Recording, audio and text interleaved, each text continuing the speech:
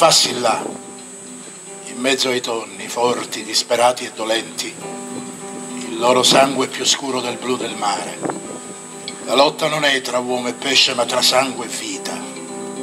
Tentano di fuggire per non morire, per non morire così, affogati nel loro stesso sangue. Chiedono aiuto e troveranno tregua negli arpioni pronti a scannarli.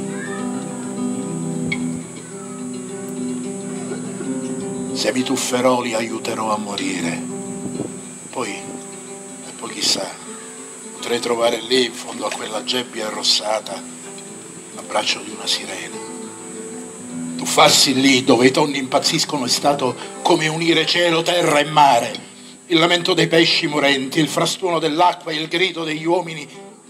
Per un attimo divenne silenzio.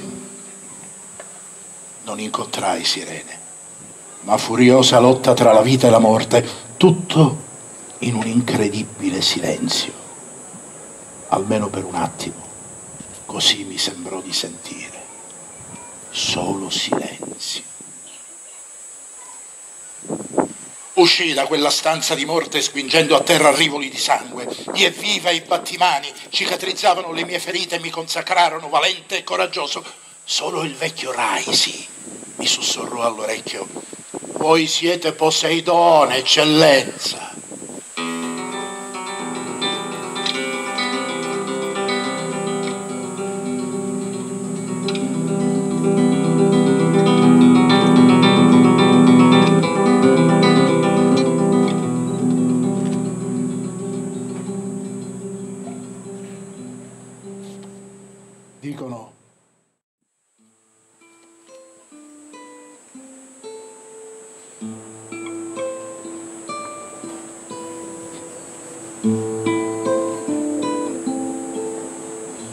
L'abbraccio di mia nonna, donna Giulia Florio, principessa di Trabia, fu commosso e lacrimoso, accompagnato dal suono dolcissimo del dialetto che sentivo per la prima volta. Tu Raimonduzzo sei. Ho amato subito sentire un accento che non fosse quello romanesco. Ho amato subito, perché Palermo nei vicoli è bella Odori, suoni e gesti sono in perfetta sintonia. Amavo scorazzare tra le sue strade, rincorso inutilmente dai servi di Palazzo Butera sguinzagliati da mia nonna per cercarmi. Tu sei un ciabbia, mi diceva, non sei come gli altri.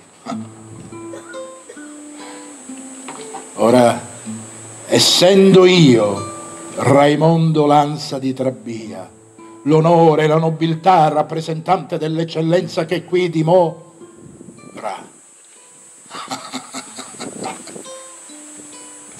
Ma cosa siamo noi, dolcissima nonna, se non malati, malati di ciò che siamo? Compari i pile tapisano? No. Allora me cacavo.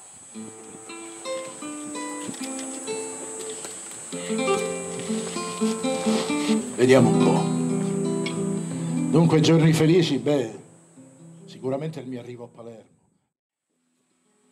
A pensarci bene, vinsero le cicale della campagna di Sicilia. Il rombo dei motori non superò mai il loro canto che durò fino a sera.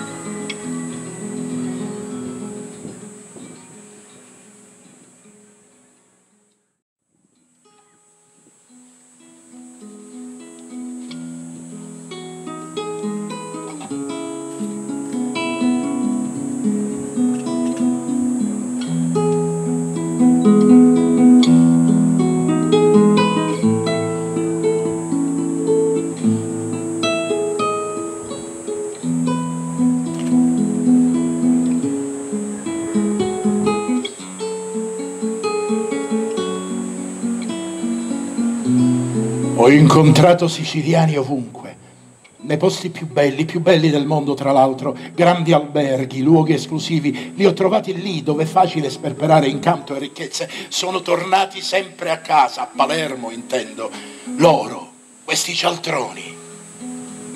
Gli unici che non sono più tornati sono quelli che avevano in testa il biglietto di ritorno del treno. Partivano carichi di spago e cartone e gli occhi fissi a guardare lontano.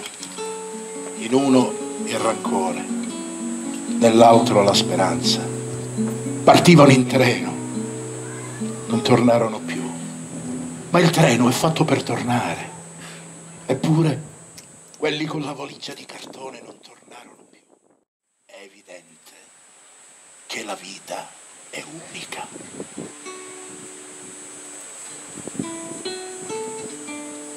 Ora, essendo io, Raimondo Lanza di Trabia, duca di Brolo, principe di Leonforte e di Butera, duca di Mossomeli,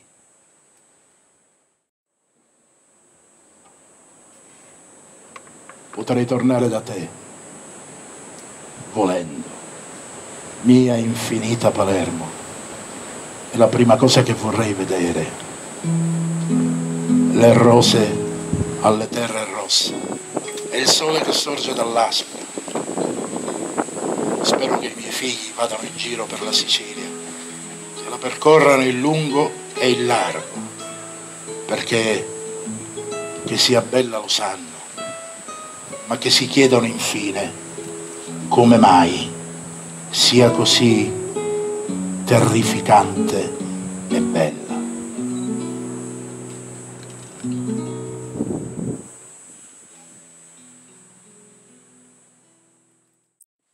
Affabile e rassicurante nome quello di questo albergo.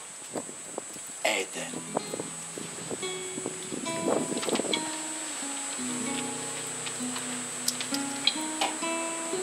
Non c'è giudizio nell'Eden.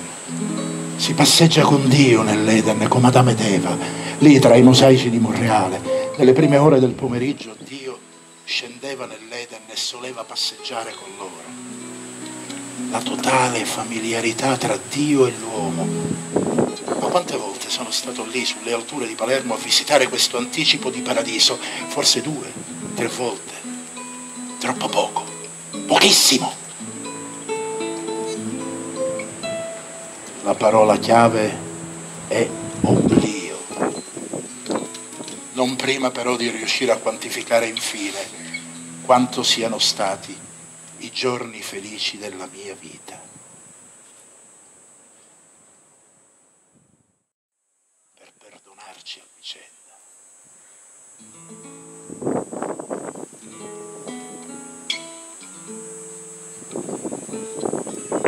Se potessi vedere almeno una volta il bene su di me,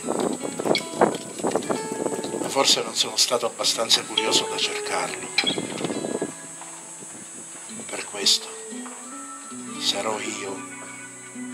Dare il via per la partenza.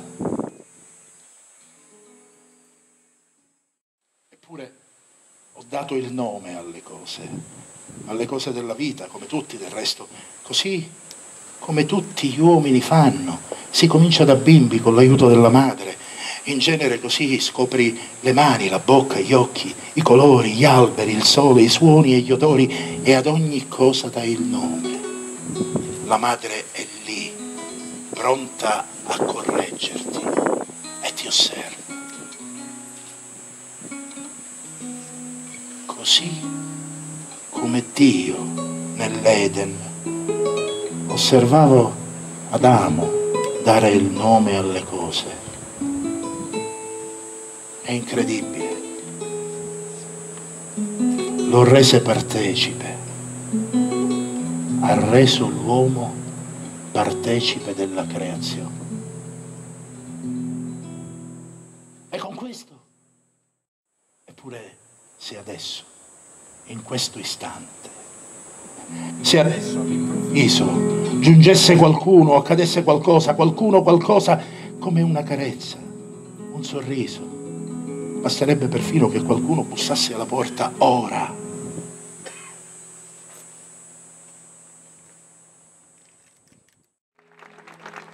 Party.